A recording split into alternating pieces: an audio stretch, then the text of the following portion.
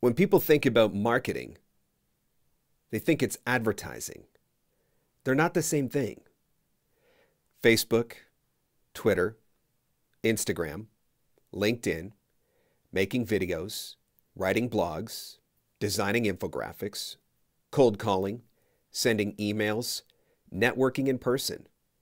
Everything that you do that connects with other people becomes your marketing. Thank you.